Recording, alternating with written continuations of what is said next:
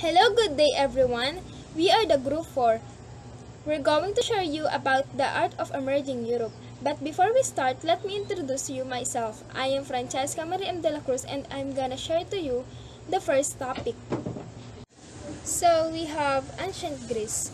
Greeks value poetry, drama, philosophy, which remain interesting fields to study for contemporary times. Painting, sculpture, and architecture, those who want to be involved in art, one is required to have a certain skill sets and body of knowledge. The humanist ideals of the Greeks were reflected in their democratic form of government that at this certain level of freedom was also reflected in their artworks, architecture, literature, and philosophy. The principal belief systems and ideologies are the core of Greek art and architecture. So, this picture are the examples of Greek art. The Greeks were known to place prime importance in the use of reason. For this civilization, man is at the center of society, and how they train their minds could be the very foundation of how they live their lives. The Greek art have four periods. So these are geometric period, archaic period, classical period, and Hellenistic period. The first one is geometric period, the period when ge geometric shapes and patterns have taken the spotlight in most of the artwork. Geometric period was 900 before Common Era. Was a time when Greece was starting to get back from the onslaught of what seemed to be the dark ages. And the second one is archaic period. Place important on human figures, it is the primarily result of Greece trading activities with other civilizations. Archaic period was 7th century BC. Place importance on human figures. And the third one is classical period. Greek sculpture and architecture is at peak, rebuilding their temples and focusing on creating artworks. Classical period was 383 to 323 BC, the golden age of Greek art. And the last one is Hellenistic period, emphasized balance while showcasing dynamic poses and a number of emotions evoked by the subject. Hellenistic period was 330 to 31 BC. This is the time of Alexander the Great. So let's move forward to ancient Rome. This picture is the amphitheater one of the architectural achievements of Romans. This amphitheater was planned and constructed during the reign of Emperor Vespasian. May I call Ms. Gutierrez to present the next topic? Middle Ages. It is the period between the decline of the Roman Empire and the Renaissance, characterized by ignorance and darkness. The Middle Ages deserve to be called the Dark Ages because it was the period in time that caused sorrow and death. It was the time that caused many people to wonder if there is a better life out there or even in the future for the next generation. Another dominant characteristic for this period was a church. It is the central figure and highlighting the religious. Cathedrals were built and it's categorized in two periods. Romanesque inspired by the old Roman Empire. Between the 10th and 12th century, most European cathedrals were built in the Romanesque style. Romanesque cathedrals are solid and substantial. They have rounded mansards, arches, and burial vaults, supporting the roof, thick stone walls, and few windows. Gothic, more on northern flavor from the Goths. Around 1200, church builders began to embrace a new architectural style known as the Gothic. Gothic structures have the huge stained glass windows, pointed vaults and arches, and spire and flying buttresses. In contrast to heavy previous style, Gothic architecture seemed to be almost weightless. Renaissance art European art produced during the 14th and 15th centuries in Europe. The Renaissance explored new styles and concepts while advancing creative skills. It is regarded as a high of artistic achievement that wasn't surpassed until the modern period. The word Renaissance originates with the Italian word Renascita, which means rebirth. A period in European civilization characterized by the revival of classical knowledge and wisdom. In this sense, the Renaissance may be seen as a spectacular rebirth in which art and culture that were unmistakably superior to antiquity were created. This was fueled by a thriving economy at the time as well as culture that valued learning and discovery. Renaissance art is known for its elaborate allegories, which are type of complex analogy that allows a work to have hidden meanings. Renaissance art is known for its use of pathos. It aims to capture the feeling in the viewer. Subjects in Renaissance painting typically have more natural expression on their face, even with no intense emotion is portrayed. For example, the famous and elusive smile of Mona Lisa, which seems to vanish from some viewing perspective. As for the next topic, may I call Ms. Gatchalian to present. Hi, my name is Colleen D. Gatchalian and I will tackle about Baroque and Rococo, Mannerism and Neoclassicism. First is Baroque and Rococo. Baroque and Rococo are two art and architectural styles that were popular in 15th, 16th, 17th, and 18th centuries.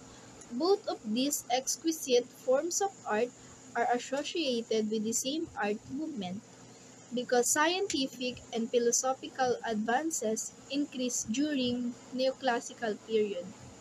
Most portraits in the Baroque and Rococo styles focus on elaborating political truths, various aspects of society and culture at the time. Second is Mannerism. Mannerism is an art style that flourished during the late Renaissance period, roughly from 1520 to 1600s. Figures in Mannerism paintings and sculpture are frequently elongated and distorted. The Mannerism style originated in Italy where artists were influenced by the figures painted on ceiling and The Last Judgment in the Sistine Chapel by Michelangelo. And the last one is Neoclassicism.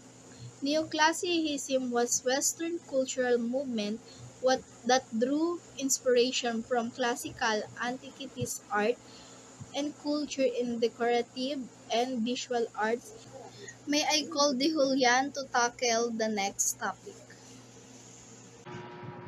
I am Lynn Marie Di Julian and I am presenting to you the Romanticism.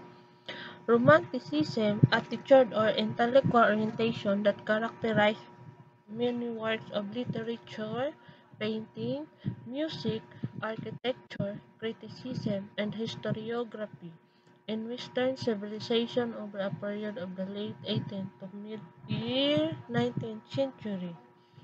It can be it can be seen as rejection of a precept of order, calm, harmony, balance, idealization, and rationality that typified classicism in general late 18th century. The characteristic of attitude romanticism it depends appreciation of the beauties of nature, a general exaltation of emotion over reason and the sense over intellectual, a preoccupation with the genius, the hero and the exceptional figure in general and a focus on his or her passion and inner struggle, a new view of the artist as a supremely individual creator those whose creative spirit is, is more important than a strict adherence to formal rules and traditional procedure, and emphasize upon imagination as a gateway to transcendent experience and spiritual truth. an obsessive interest in folk culture, national and ethnic cultural origin in the medieval era. Romanticism is an attitude or intellectual orientation that characterizes many works of Eastern literature. It was also a reaction to the Enlightenment as well as 18th century nationalism and physical materialism in general. The individual, the subjective, the irrational, imaginative, the personal, the spontaneous, the emotional, the visionary, and the transcendental were all emphasized in Romanticism. Romanticism was characterized by the following attitudes: defend appreciation of nature's beauty and general exaltation of emotion over the reason. Realicism the art, the accurate, detailed, embelli- embellished depiction of nature or a contemporary life. In the art, realism is the accurate, detailed, and unembellished depiction of nature or contemporary life. Reali- Realism opposes imaginative idealization in favor of a close examination of outward appearance. As a result, realism in its broadest sense has encompassed numerous artistic currents in various civilizations. In the visual arts, for example, an ancient Hellenistic Greek culture depicting boxers and decrepit old women exhibit realism. Realist approach can be found in the work of seventeenth-century painters such as Caravaggio, Dutch genre painters. Impressionism Impressionism developed in France in the nineteenth century and is based on the practice of painting out of doors and spontaneously on the spot rather than in the studio from sketches. Main Impressionist subjects were landscape and scenes of everyday life. Impressionism was developed by Claude Monet and the Paris-based artist from the early 1860s. Though the process of painting on the spot can be said to have been pioneered in Britain by John Constable in around 1813 to 17 through this desire to paint nature in a realistic way.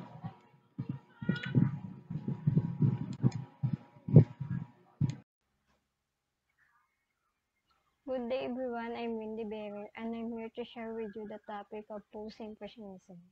Post-Impressionism is predominant- predominantly French art movement that developed roughly between 1886 and 1905. It was paid attention to the fleeting effect of light, atmosphere, movement.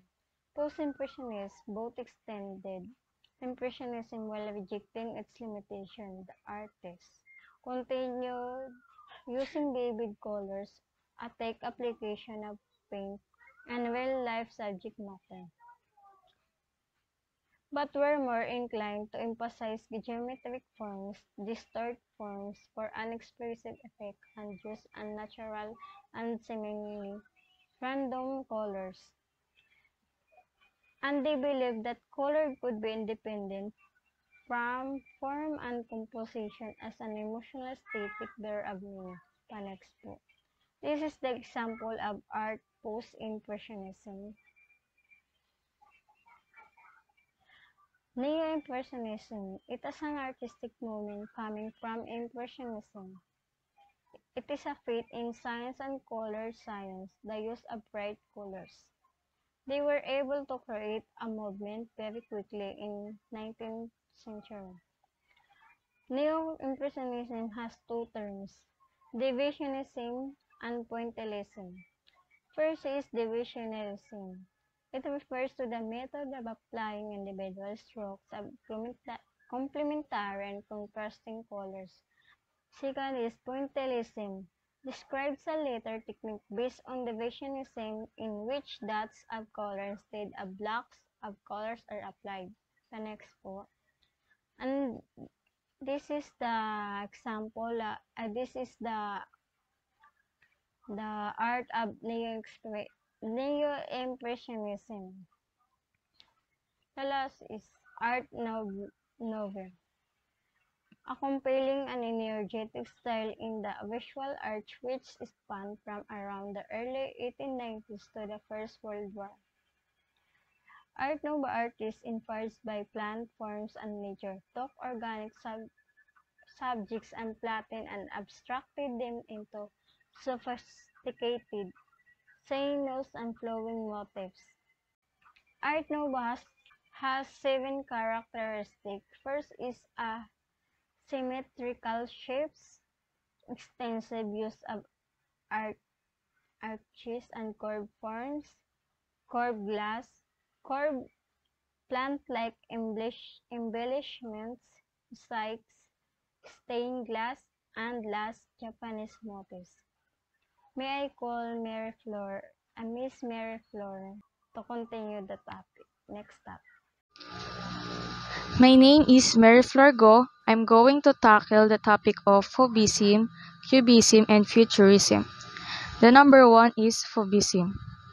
Fauvism is the name applied to the work produced by a group of artists which include Henri Matisse and Andre Derain from around 1905 to 1910, which is characterized by strong colors and fierce brushworks.